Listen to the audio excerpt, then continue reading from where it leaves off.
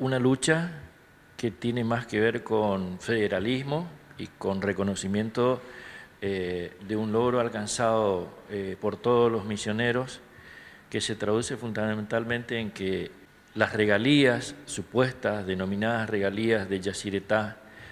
compensando a la provincia, este, no eran justas.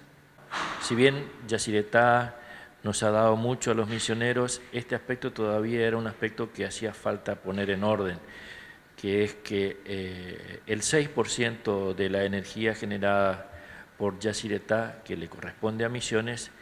eh, nos proveyeran con energía directa, que nos va a permitir a la provincia tener este, un dinero este, que no va a salir de la provincia, sino que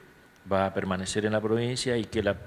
provincia va a poder, eh, con criterio propio, distribuir según las necesidades del momento. Por ejemplo, podemos hacer obra de infraestructura que está faltando en el norte misionero, por ejemplo. También tenemos problemas de redes en, distintas localidades que ante circunstancias